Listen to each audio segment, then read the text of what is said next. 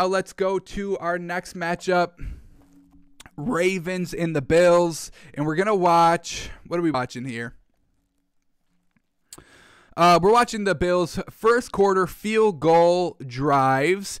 Um, a little disappointing that the Bills only put up 17 points. A little disappointing. I get that the Ravens defense is good, but we still want to see a little bit more production here by the Bills offense. So we're going to watch these two field goal drives in the first quarter. Why did they stall? Why did they have to settle for field goals? Was it Josh Allen not being accurate, missing some throws? Was it just maybe the play calling? You know, third and one, they couldn't pick it up. Third and two, they couldn't pick it up on the run. Or was it Josh Allen? So let's take a look at this, and then we'll watch, you know, their actual touchdown drive and see what that's all about.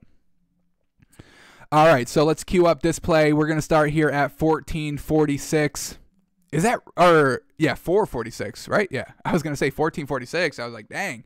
They uh the Ravens only had a possession that went for like 15 seconds." Alrighty, so 444, 446 into this Bills Ravens game. So let's get this queued up.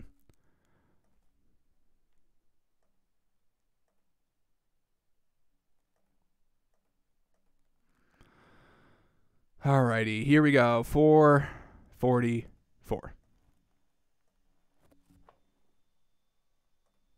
Alrighty. Starting at great field position and a very nice punt return. Starting on, I mean, the Ravens' 38 yard line. Um, so definitely disappointing that they had to settle for a field goal here. I mean, when you get prime field position, I mean, you can't be coughing it up. At least they got some points out of it, but we need to see the seven, especially in the playoffs. So let's kind of see what happens here. Why did it stall? Why did this offense stall? So first play. Josh Allen, bingo, bango, Stefon Diggs for 15 yards. They've been doing this all season. That's a huge drive starter here. Now it's even more concerning that this drive stalls. First play, 15 yards, picks up the first, starting on, you know, now down to the 22 yard line of the Ravens. Josh Allen uh, out of the pocket, trying to buy all the time, nothing open, and he just throws it away. Oh, a flag. What do they call? Roughing the passer? Oh my goodness. So even better field position, and they still don't capitalize on a touchdown. Oh, this is not good. This is definitely not something I want to see. All right, let's see. Josh Allen in the red zone, not capitalizing on touchdowns. This is not good. Let's see what we get here. First and 10 on the 11 yard line of the Ravens. Play action pass gets tipped at the line of scrimmage. Just trying to go out to John Brown there on a nice little swing route. Incomplete. Second and 10 now. Here we go. Once again, a wide receiver screen to Devin Singletary, and it gets one yard. Very conservative here with the play calling. We saw week one a lot of trickery. Week two here in the playoffs, a lot of dink and donk. I mean, you got to push it downfield a little bit. I know you're in the red zone, so you don't have a lot of field to play with. But now we're looking at third and 10 from the 11 yard, or third and nine from the 10 yard line. Let's see what they draw up here. What are they going to take the shot at the end zone, or is it going to be another dink and dunker? Let's see. Third and nine, Josh Allen. Play action. Oh man, and he tries to hit who is that? Davis over the middle of the field of the end zone, and it looked like it was a good pass, folks. I think he may have just dropped it. Let's see if we get another replay here. Hopefully, we get a replay from the back of the end zone. We'll be able to see something real good from there. Oh, that's a beautiful ball by Josh Allen. Oh man, it's just dropped. Oh, Josh Allen. All right, so we really don't have to worry. It was just a bad drop. Josh Allen, an absolutely beautiful dart in the red zone, in the end zone, and the accuracy was absolutely magnificent. Holy cow. All right, that makes me feel a lot better rewatching this. That was just, uh, I mean, you couldn't have thrown it any better than that, truly. Um, all right, so that is, uh, that's very good. That's very good. So they had to settle for uh, for three there because of the drop. So now let's watch this other field goal drive. Why did this one stall? Is it another drop? Is Josh Allen still looking good? Uh, so let's cue this drive up. Seven play, 38 sec or 38 yard drive, um, resulting in a missed field goal. Not great. Saw a lot of missed field goals this game. What did the Ravens miss two? Bills missing one. Got to get the good kicking game, folks. Come on. So 32 seconds left in the first quarter. Let's queue up this next drive.